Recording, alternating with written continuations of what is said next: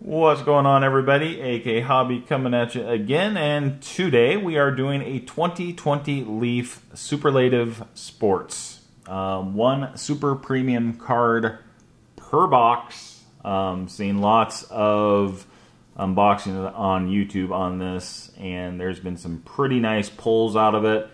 Uh, the one I have not seen is this dual relic patch, Laker patch one of one of Kobe Bryant and Shaquille O'Neal. Um, but, you know, who knows? Someone may have pulled it.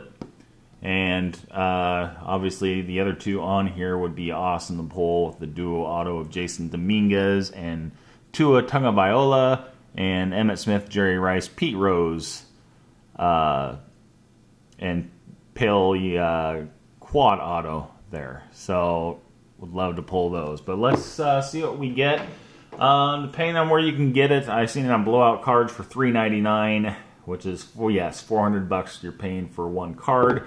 I got it at my local LCS for $2.99, which is 300 So, I guess depending on where you're going to get it, you're probably going to see about $100 price range, uh, depending on where you get it from 3 to $400. So, um, let's see.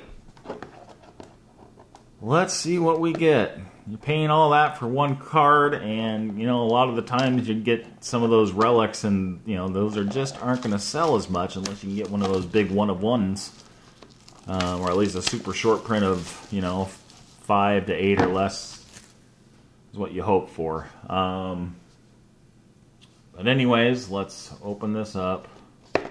Oh, the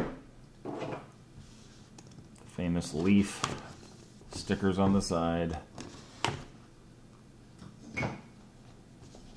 What are we going to get?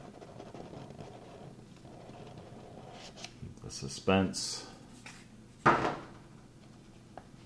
alive. Now, it doesn't seem super, super thick.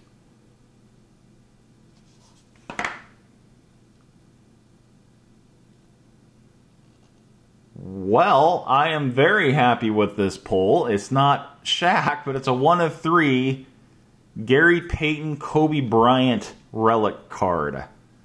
Um, I will take that. Game used memorabilia, Kobe Bryant.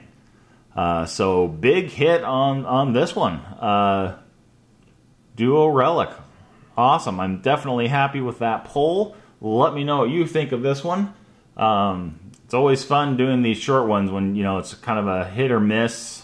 Um, but that definitely, I've seen some decent ones pulled out of here, but this is a very cool one to get.